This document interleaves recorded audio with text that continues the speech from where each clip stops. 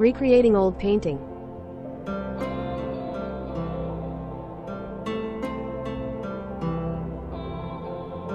Hope it turns out good.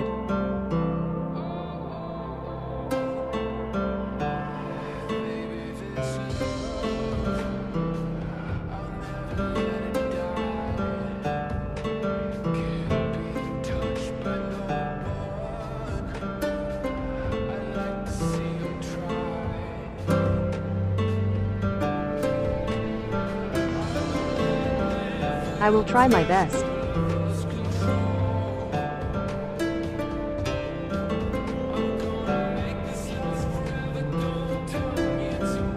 I didn't do much painting.